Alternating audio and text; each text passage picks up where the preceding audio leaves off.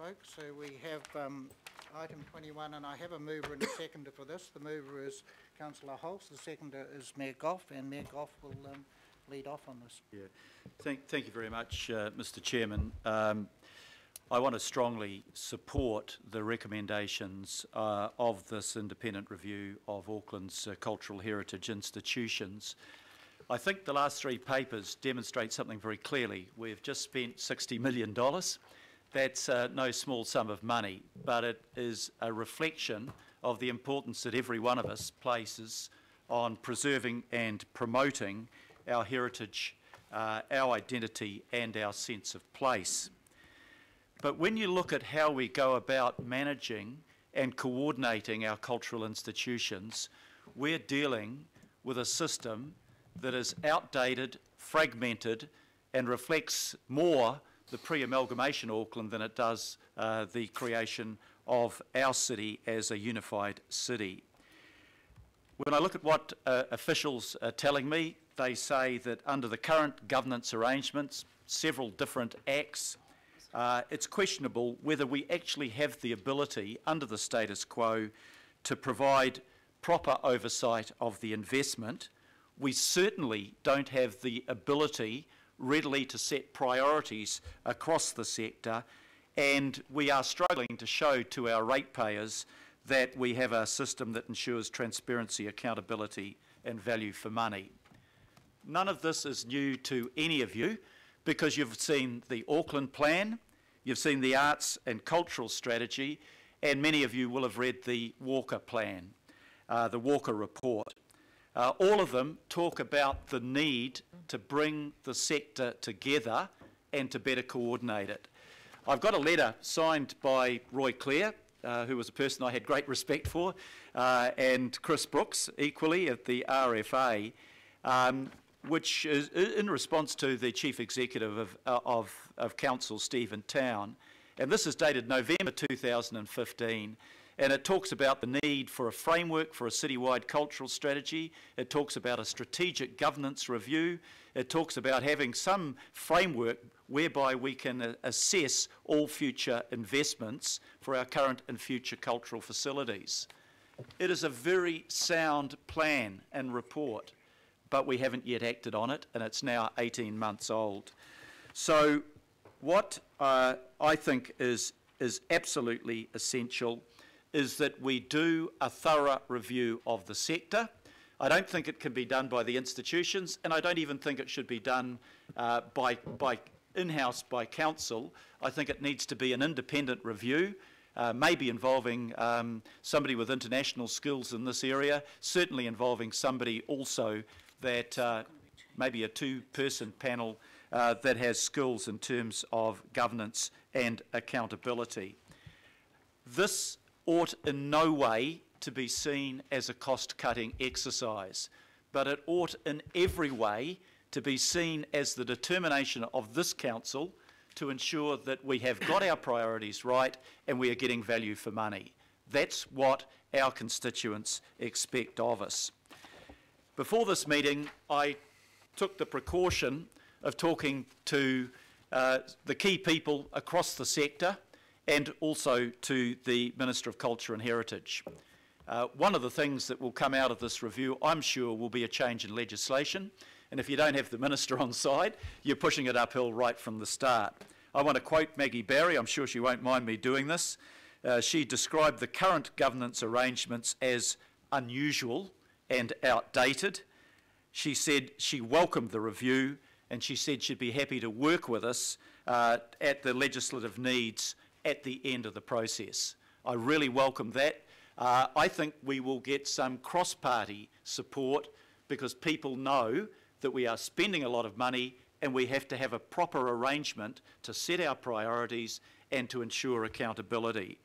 uh, I met with um, uh, Vince uh, Lapanovich from the Maritime Museum. I don't know whether Vince is still, yep, he's back there.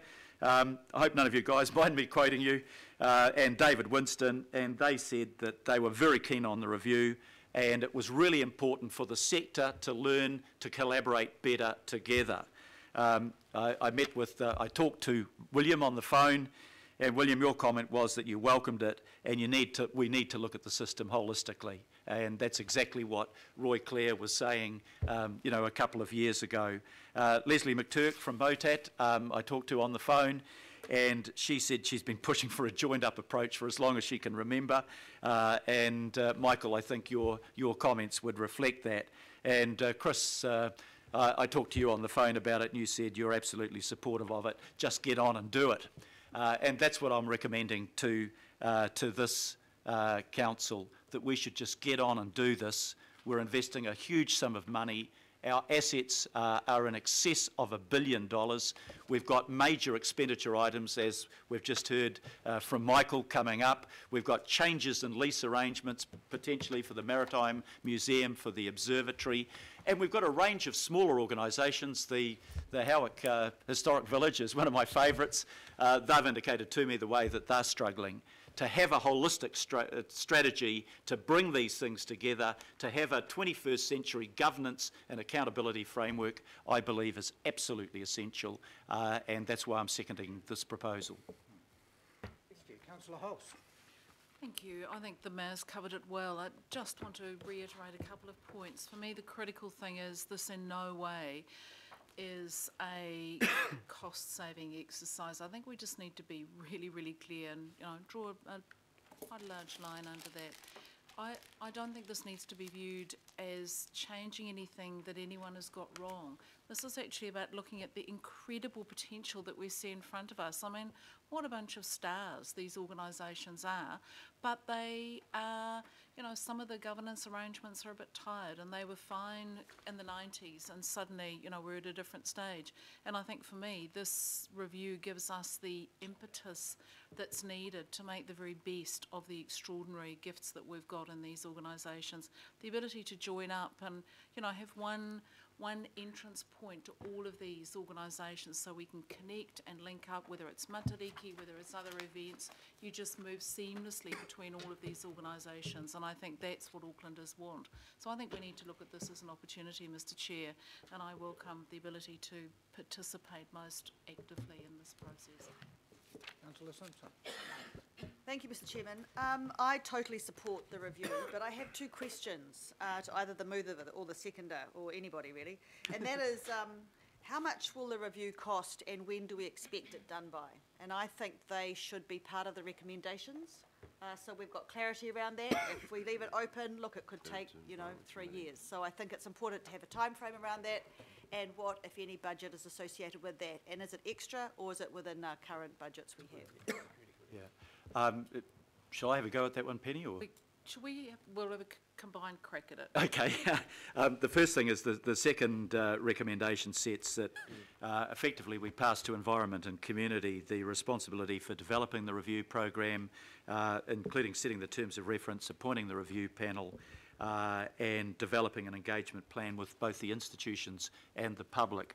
Uh, I have no idea at this point what that will cost, but sometimes you have to spend money to save money. Um, in terms of a time frame, um, again, it's finding the balance between being thorough but getting this done as quickly as possible so we can start to make progress. Uh, I'm imagining, Penny might correct me, I'm imagining that we would uh, do this within the, uh, with, within the space of uh, no more than 12 months, uh, hopefully a bit quicker than that, but maybe if I can pass to Penny. I, I agree, and I think councillor Simpson's questions are absolutely on the button. I think when it first gets reported, this is our testing the waters, is everyone okay with it? When it comes to the committee, that's when I think we need to be a bit more hard and fast and, you know, work with our partners and bring a budget and a time frame through to the committee. And I will comment as Chair of Finance that, that it's only March and if this could inform the LTP, that would even be better, so that's less than a year. Yep. Uh, Councillor Cooper. Thank you. And mine was also around the review. Um, I just, I've read the report, but I'm, I mean, I think it's a bit like the 17A review as well. We seem to be going outside our organisation to review when we've got, you know, some excellent staff here that could do that for us and we're already paying them. And that's my concern around, we're going out to independence and it costs us. And so I want to understand why we aren't getting our CEO to get together the right people to, do the review of all of our services as well as this. I think the short answer is we Maybe thought it- shorter as well. The short answer was, I think we all, we, we felt as though it would be better to have an independent review and have someone from outside any of the institutions, but Sir Don will uh, comment. Well, I would only say, Mr Chairman, it, it is important to have an outside influence in the review, not necessarily dominated from the outside. I think the real challenge, and this was hit upon by the Mayor in his comments, you want to be able to go to Wellington with a package that everyone agrees to. Because he and I know what it's like when Auckland is divided on an issue in Wellington. And you, what you think is going to be a, a short piece of legislation grinds away for three or four years because the divided nature. And I don't think it's beyond the capacity to get uh, consent, but you've got to work very hard to get it here before it goes to Wellington for statutory change. Absolutely. Councillor Cashmore, No, Sir Don's just made the exact point I was about to make, sir. Thank you, sir. uh, Councillor Walker, Wayne Walker. Yes, um, uh, just want to raise um, an issue around the um, recommendations, um, particularly A, um, approve that an independent review of Auckland Council's investment in major cultural institutions is undertaken. Undertaken. If you look at the uh, Walker report, it it emphasises Auckland, which is not just Auckland Council. And if we're looking at um, investment, it's not just Auckland Council's investment. Um, there's investment from the wider community, the philanthropic uh, community, which is going to be increasingly important, and that of government. So I, I have a, a real concern that the way that we're structuring the direction here is just focusing on Auckland Council's investment. I'd like to see a change to, to the wording of that and suggest that certainly approve that um, an independent review of investment in Auckland's major cultural heritage institutions is undertaken might be a better way to word it. You don't think that will come out in the wash, councillor Walker? I, well, I think I mean, that, w- uh, there's a few things unsaid in here. Clearly, you know, we've got you the RAFA facilities, and then in clause number 12, we talk about um, the smaller institutions, and there may be a typo there at the end there, the the fifth to last word says may need to be considered. I think the word is probably more appropriate, it says will need to be considered, so... well, through I- you, Mr you Chair, know. I'm just making the observation that A is a significant limitation. Concern there. Yeah. So I've suggested an alternative wording, which is relatively straightforward. Well, Can, can I the just, thing sug- is, that would increase the scope of the review, and and needless to say, it starts to pull it outside our investment. It's a little bit difficult. Mayor Goff. uh, if I can just be helpful on this, um, I, I don't think we should try and write the terms, or the, the, the- the terms of the review here. Uh, I think we should do that in the committee where we can focus on it. But I'm sure we can pick that point up, councillor Walker, uh, uh, in the terms of reference. Councillor Lee, Mike Lee. Yes, I, I um, would just like to sound a precautionary note here. I, I think Sir Don's point about building a consensus in Auckland first before we dash off to Wellington for uh, legislation change is, is a sound one. I, I'm, I, I support an independent review. I am concerned ab- about comments um, around the table uh, that seem to um, preconceive the outcomes. I, I um, reject the notion that bigger is always better and that um, corporate mergers are the way to go. Um, that's an assumption um, that I'm picking up and I reject it. I, I would like the review to be objective um, as possible. I think we need to point out that we're not dealing with companies here. We're dealing with very unique cultural institutions. The Auckland War Memorial Museum has its own legislation for very good reasons. Similarly, MOTAT is absolutely unique, built on, on a culture of volunteerism and um, technical expertise, volunteer technical expertise. Um, I'd be very reluctant to see uh, those, the uniqueness of those organisations banged together in some sort of uh, a super city-like merger. So um, I'm all for a review. Uh, Let's not pre- preconceive the outcomes, and I'm just concerned about um, the need, for- the Mayor talked about 21st century governance, that we don't carry with us 1980s assumptions. Thank you. Right, well, folks, it's um, a long day so far, but we have a mover and a seconder. I'm going to put it. All those in favour? Aye. Against? Excellent, unanimity.